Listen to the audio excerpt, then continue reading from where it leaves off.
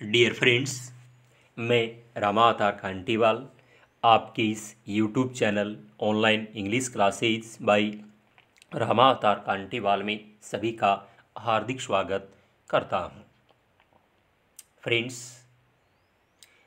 यदि अभी भी जिन्होंने इस यूट्यूब चैनल को सब्सक्राइब नहीं किया है, वे इस यूट्यूब चैनल को सब्सक्राइब कर दें और बेल आइकन को अवश्य प्रेस कर दें ताकि आने वाले वीडियोज़ की जानकारी आपको सही समय पर मिल सके।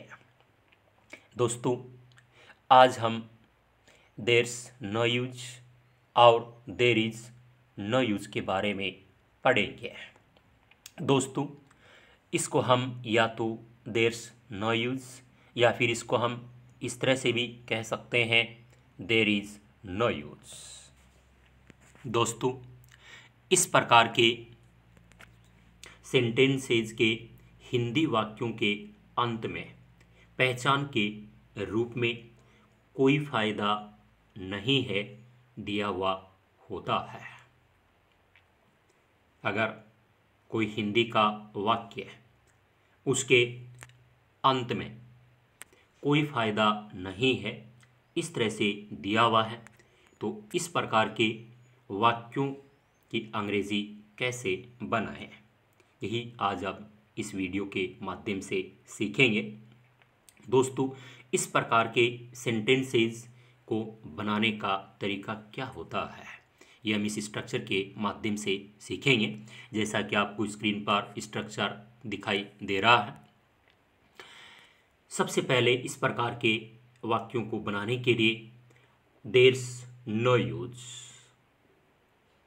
या फिर देर इज़ नो यूज़ का प्रयोग किया जाता है। दोस्तों, इसके पश्चात वर्ब की first form plus I N G verb की first form plus I N G का प्रयोग किया जाता है। और इसके पश्चात अगर अन्य कोई शब्द दिया हुआ है तो इसके आखिर में अपन यूज़ करते हैं। यानी सबसे पहले देर इज़ नो यूज़ या फिर देर्स नो यूज़ उसके पश्चात मेन वर्ब की first form plus ING plus others इस पैटर्न या स्ट्रक्चर के माध्यम से अपन इस प्रकार के वाक्य बनाते हैं। दोस्तों, आज हम कुछ एग्ज़ाम्पल दिए हुए हैं। उन एग्जाम्पल्स की सहायता से और इस प्रकार के वाक्यों को बनाने का तरीका सीखेंगे। दोस्तों, इसमें पहला वाक्य दिया हुआ है कि समझाने का कोई फ़ायदा नहीं है। समझाने का कोई फ़ायदा नहीं है। दोस्तों, इसकी अगर अंग्रेज़ी बनानी है तो सबसे पहले अपन देखिए इस सेंटेंस के अंत में दिया हुआ है, कोई फ़ायदा नहीं है। इसका मतलब इस प्रकार के वाक्यों की अंग्रेज़ी किस तरह से बनाएँगे? सबसे पहले देर इज़ नो यूज़ या फिर देर्स नो यूज़ इसके पश्चात मेन वर्ब की फ़र्स्ट फॉर्म प्लस आईएनजी का यूज़ करेंगे। तो देखिए, सबसे पहले देर्स नो यूज़ और इसके बाद में मेन वर्ब क्या है? समझाना एक्सप्लेन करना। तो एक्सप्लेन की मेन वर्ब की first form plus I N G explaining there's no use explaining या फिर there is no use explaining समझाने का कोई फ़ायदा नहीं है। दोस्तों, इसका अगला सेंटेंस है कि चिल्लाने का कोई फ़ायदा नहीं है। ये दिया हुआ है। दोस्तों, इस वाक्य के अंत में भी क्या दिया हुआ है? कोई फ़ायदा नहीं है। इसका मतलब हम इसकी जब इंग्लिश बनाएँगे तो वो उसी स्ट्रक्चर के माध्यम से। कौन सा? जैसे सबसे पहले देर्स नो यूज़ और प्लस आगे मेन वर्ब की फ़र्स्ट फॉर्म प्लस आईएनजी का यूज़ करके बनाएँगे। तो सबसे पहले देर इज़ नो यूज़ फिर इसके पश्चात मेन वर्ब की फ़र्स्ट फॉर्म प्लस आईएनजी का प्रयोग करते हैं। तो यहाँ देखिए वाक्य में मेन वर्ब क्या है? चिल्लाना। शाउट मीन्स चिल्लाना। तो शाउट की first form plus I N G shouting तो चिल्लाने का कोई फ़ायदा नहीं है। इसकी अंग्रेज़ी क्या होगी? देर नो यूज़ शाउटिंग या फिर there is no use shouting चिल्लाने का कोई फ़ायदा नहीं है। दोस्तों, अगला वाक्य है। रोने का कोई फ़ायदा नहीं है। दिया हुआ है। देखिए स्क्रीन पर, रोने का कोई फ़ायदा नहीं है। इस वाक्य के अंत में भी दोस्तों क्या दिया हुआ है? कोई फ़ायदा नहीं है।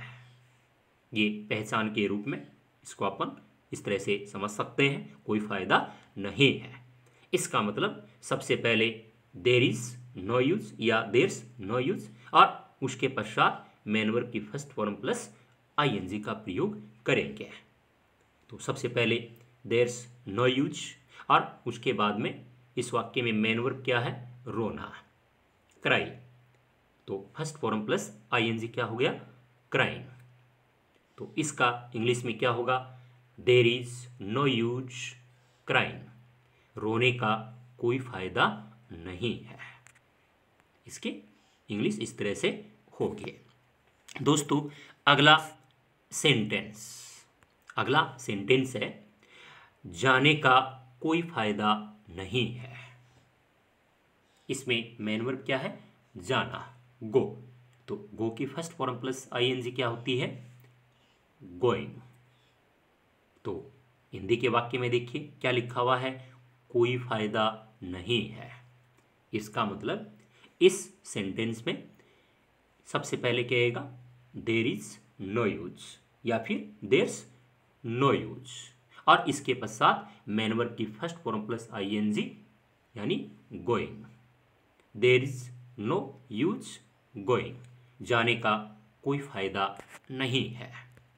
दोस्तों, इसके अगला सेंटेंस क्या दिया हुआ है? कि लड़ने का कोई फ़ायदा नहीं है। लड़ने का कोई फ़ायदा नहीं है। इस वाक्य के अंत में भी क्या दिया हुआ है? कोई फ़ायदा नहीं है। इसका मतलब सबसे पहले देर्स नो यूज़ और उसके बाद मेन वर्ब की first form plus I N G का यूज़ करेंगे। तो सबसे पहले अपन ने लिखा देर्स नो यूज़ और फिर वाक्य में मेन वर्ब क्या है? लड़ना। फाइट तो फाइट की first form plus I N क्या होगी? फाइटिंग तो आगे अपन लिख देंगे फाइटिंग तो इसकी इंग्लिश क्या होगी? देर्स नो यूज़ फाइटिंग या फिर there is no use fighting लड़ने का कोई फ़ायदा नहीं है। दोस्तों, एक और सेंटेंस दिया हुआ है।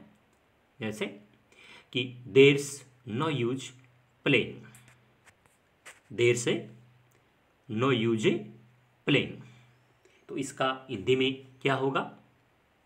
खेलने का कोई फ़ायदा नहीं है। देर्स नो यूज़ कोई फ़ायदा नहीं है। उसके पश्चात मैन वर्ब की first form plus I N G खेलने का तो playing there's no use playing खेलने का कोई फ़ायदा नहीं है। दोस्तों, इस तरह से अपन इंग्लिश में छोटे छोटे वाक्य बनाकर और अंग्रेज़ी को अच्छी तरह से अपन सीख सकते हैं। तो आज हमने इस वीडियो के माध्यम से देर्स नो यूज़ या देर इज़ नो यूज़ कोई फ़ायदा नहीं है के बारे में पढ़ा। दोस्तों, इसके बारे में आप कमेंट अवश्य करना। अगर आपको कोई भी चीज़ समझ में नहीं आई हो तो आप कमेंट में अवश्य लिखें ताकि उसके बारे में समाधान किया जा सके। दोस्तों, इसी तरह से अपन और भी कुछ ऐसे सेंटेंस का अभ्यास कर सकते हैं। जैसे अपने कोई भी सेंटेंस लेते हैं कि बाहर जाने का कोई फ़ायदा नहीं है। इस वाक्य में देखिए, कोई फ़ायदा नहीं है। तो इसमें भी किसका यूज़ करेंगे?